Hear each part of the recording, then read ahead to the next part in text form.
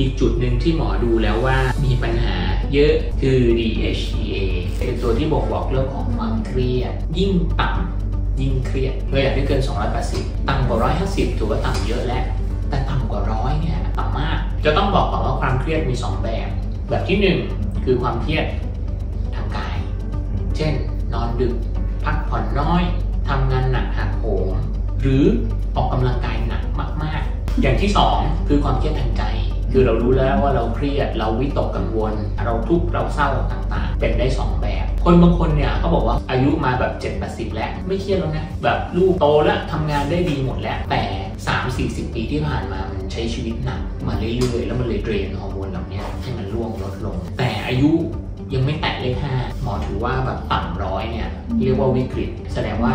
มันใช้สิ่งนี้เปลี่ยนจริง ๆ แล้วมันสร้างทดแทนไม่ทัน ก็ต้องดูแล้วว่าระยะที่ผ่านมาบางที 5 ปี 10 ปีที่ผ่านมาเครียดสะสมมาก่อนหน้านั้นแต่ทีนี้ตัวเนี้ยพอเวลามันต่ำมากร่างกายจะเก็บไขมันเก่งเบิร์นไม่ดี แต่ในบางคนเนี่ยจริง ๆ การออกกำลังกายหนักๆบอกแล้วว่าเป็นความเครียดอย่างหนึ่งของร่างกาย มันยิ่งเป็นเดนตรงเนี้ยบางคนที่บางทียิ่งออกยิ่งเพลียยิ่งออกยิ่งเพลียจะไม่แนะนำให้ทำหรือไม่หรือหรือไม่แนะนำให้ออกหนักมากนะครับ